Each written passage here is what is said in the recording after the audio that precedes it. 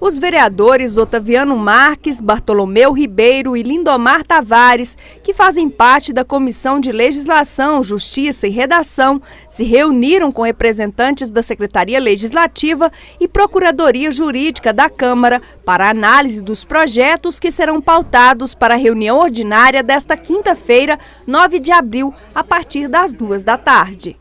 Bom, já estudamos, os, os, pautados já estão prontos, né? São alguns nomes de rua, nomes de praça, um, também uma festa em Major Porto, que é um projeto do Lindomar Tavares. E temos aí o projeto das contas do senhor prefeito, a comissão, a comissão especial, como o presidente é o Carlito, e ele nos ligou ainda há pouco dizendo que vai entregar essa, é, esse, o parecer amanhã. Se ele entregar o parecer amanhã, quinta-feira, dia 9, ela vai entrar para votação. Então acho que é o projeto assim mais polêmico que vai requerer mais atenção, né, que são as contas é, do prefeito. Então acho que porque nós estamos reunindo também todas as quintas-feiras e os projetos vão ficando uh, poucos e cada reunião assim não tem projeto ainda. Agora tem também o projeto do Lázaro, que é o projeto da, do sorteio das casas, né, para as casas e esse projeto já foi votado em primeiro turno e quinta-feira também ele entra para ser votado em segundo turno.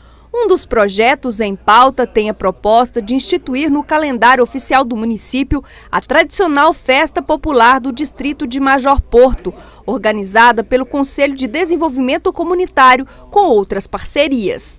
Festa já existe, ela já é tradicional, já dura vários anos, é organizada pela comunidade e agora, a pedido da própria comunidade, nós estamos instituindo no calendário de festas do município de Patos de Minas, o que já acontece com outros eventos festivos.